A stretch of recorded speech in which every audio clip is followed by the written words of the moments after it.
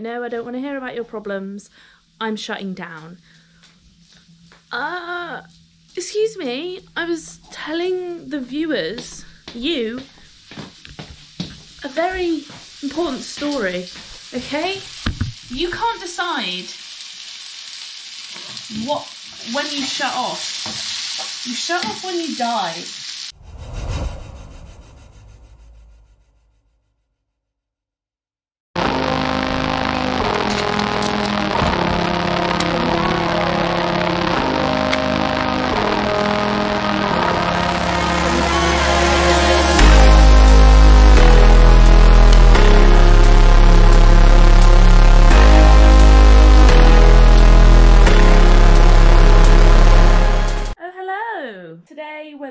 We've got my new bag. It's actually like a camera bag.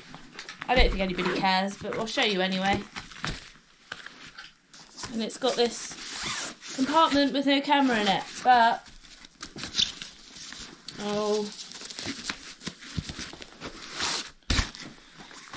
it will have a camera in it one day. It's got this cute little compartment for clothes. Well, I'm using it for clothes anyway. Let's go. We might actually be on time for once.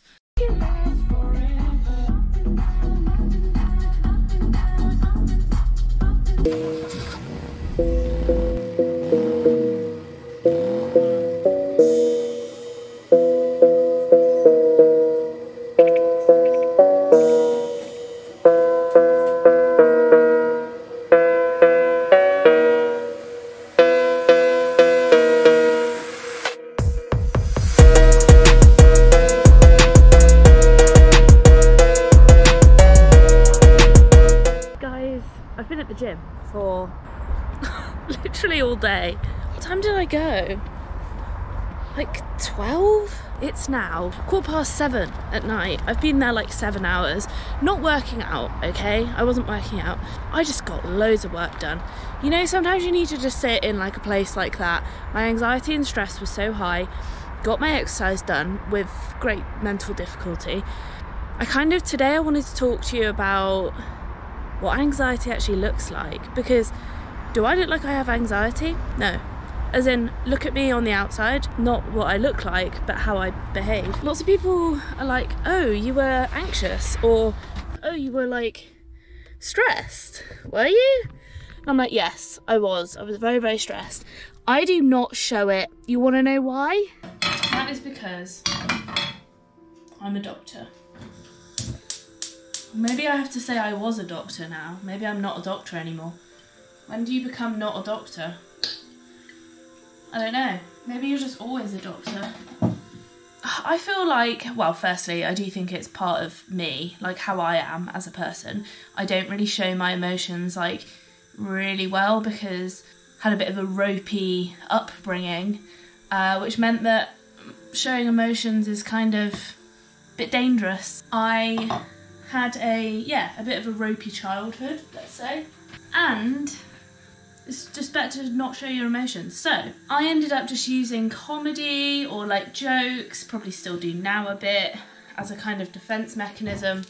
And it took me a long time like a really really long time to open up.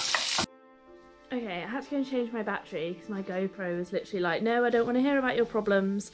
I'm shutting down uh, excuse me, I was telling the viewers, you, a very important story, okay? You can't decide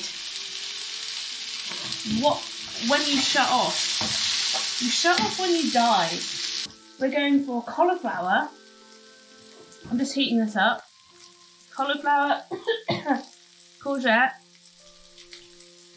don't ask. Sweet chili chicken. Uh, I'm gonna put some olives in there, I think. And again, don't ask. Sweet and sour no- pot noodle. Just gonna mix it all together. So yeah, that's where my issues with emotion come from.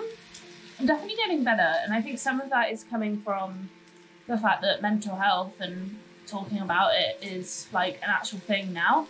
It took me a lot of fucking years though a lot of therapy, a lot of help, a lot of mentoring. I had like private, not private, like one to one uni mentoring once a week, which was really good. The uni funded it, thank you. In fact, even at the height of my depression, I don't think anybody really knew. Um, they did it, yeah, they did, to be fair.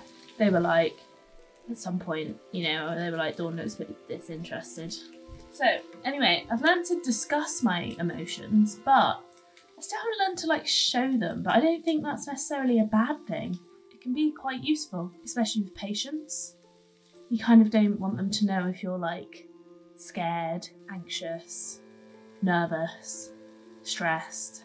Stressed, I feel like, is a bit more obvious. But I do have tells, I think, and I think anybody has tells. Like things that you do that you're like that people can look at you if they know you well or if they know how to read body language and go they're stressed or anxious. I think a lot of people do a lot of people do certain things that are like self-comforting mechanisms. So like they'll rub their arm or their legs. This is more of a lying one like rubbing your face doing that I think for me, maybe I don't want to give them all away, but there's two.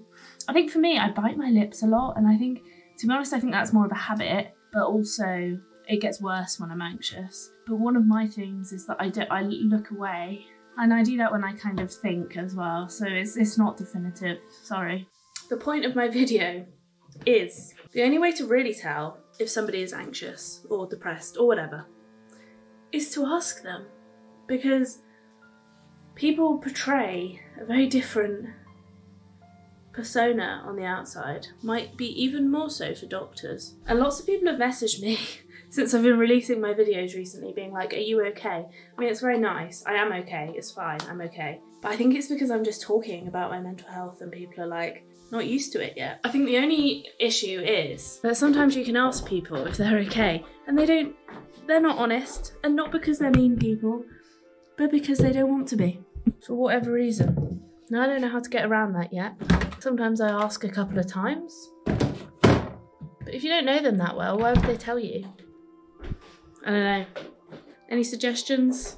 Let me know.